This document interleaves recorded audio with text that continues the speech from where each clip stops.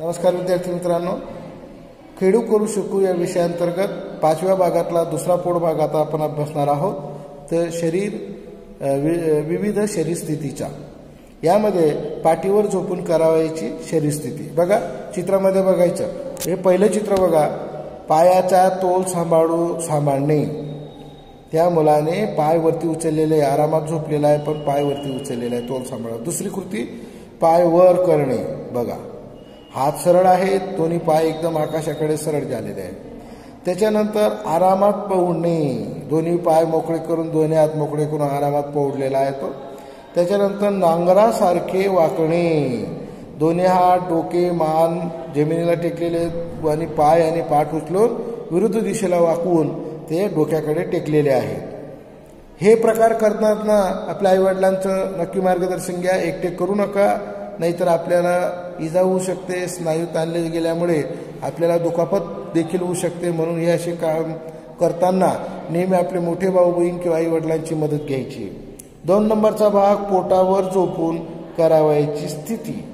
नागासारखे उभे राहणे. आता पोटावर झोपायचं दोन्ही आठ टेकून कमरेपासूनचा भाग वरती उचलणे याला म्हणतात नागासारखे झोपणे किंवा पाहणे. तर अशा पद्धतीच्या या कृत्या आपण या ठिकाणी पाहिलेले आहेत. आता आपण पान नंबर तीसवर जाऊया.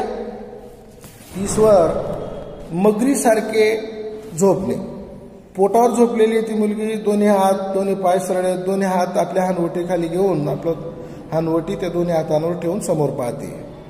नंतर धनुष्यासारखे वागणे. आता यामध्ये पोट खाली टेकलेले आहे दोन्ही हातात दोन्ही पाय धरलेले आहेत विरुद्ध बाजूला. त्याच्यानंतर मांडी मांडी मांडी घालण्याची स्थिती दिलेली आहे त्या ठिकाणी. बघा पहिले सरळ दोन्ही हात खाली टेकून दोन्ही पाय सरळ केलेले आहेत.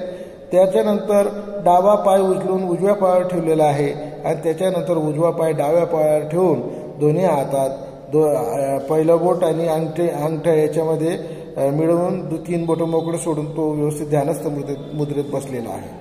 त्याच्यानंतर पुढचं हे नौकेसारखे पवणणे बघा याची पाठ टिकलेली आहे.